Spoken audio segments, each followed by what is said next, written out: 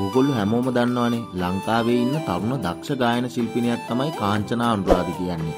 මෙයාගේ ආලේ මල් කරකාර බඳින්නට නාදෙන් උදුරාවි දැනෙනාතුරුමා වගේ සින්දු ගාක් ජනප්‍රිය වුණා. මේ අතරින් නාදෙන් වගේ සින්දු මිලියන 16ක් වගේ YouTube එකේ බැලුවා.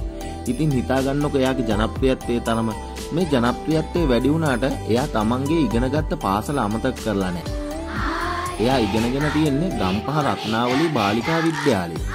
ඉතින් මෙයා ඒකට කියලා තියෙනවා මෙන්න මේ වගේ සටහනක් තමන්ගේ Facebook පිටුවේ. එයා කියලා තියෙන්නේ ආදරේ වැඩියෙන්ම දැනුණු දවසක්.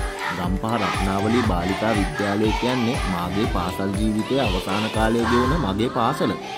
මේ ජීවිතය තුළ මම ජයගත් අවස්ථාවලට වඩා පැරදුණු අවස්ථා වැඩි. මාගේ පාසලෙන් මම ඉගෙනගත් දේ බොහෝමයි. මටත් නොදැනීම ඇස්වලට කඳුළු ආව දවස් වගේම මටත් නොදැනීම මගේ ඇස් සතුටු කඳුළුන් පිරුණු දවස් මට අද වගේ මතකයි. ඒ හැම මතකයක්ම හරිම සුන්දරයි.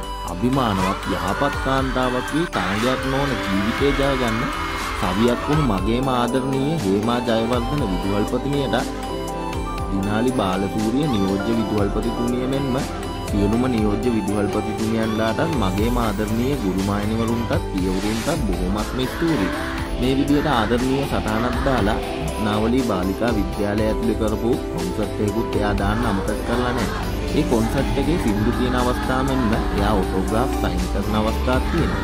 ඉතින් ඔයාට කාංචනා අනුරාධ කියන මොකද හිතෙන්නේ? එයා ගැන පහලින් කමෙන්ට් කරන්න. එයාගේ තියෙන හිත හොඳ ගත්ලක්ෂණ ඒ වගේම දක්ෂතාවය ඔයාට මේ ආකාරයෙන් කමෙන්ට් කරන්න පුළුවන්.